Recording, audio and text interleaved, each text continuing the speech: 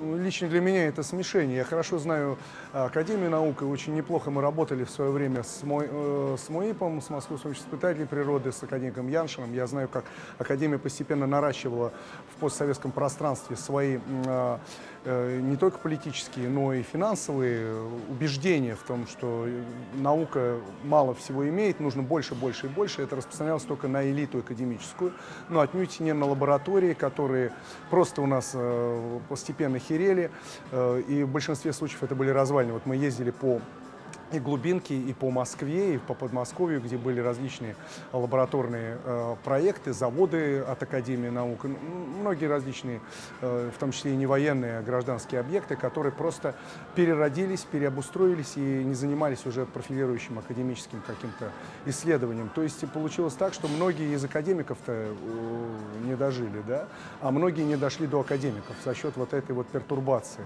э, псевдонаучной, э, на самом деле очень сильной финансовой подоплеки. Поэтому я считаю, что, конечно, реформа нужна, но здесь нужно посмотреть, кто реформу проводит. Не реформируют ли реформу сами реформисты, которым угодно оставаться на собственных местах и э, притягивать сюда э, к мало продуктивным проектам гигантские средства налогоплательщиков. Вот в этом случае, конечно, нужен отдельный академический банк, э, реальный, да, наверное, может быть, это будет развиваться сколковские проекты, дополнительные силиконовые долины, наверное, может быть, за счет этого будет прозрачность, но, тем не менее, старую фундаментальную Академию наук перетрясти давно следовало.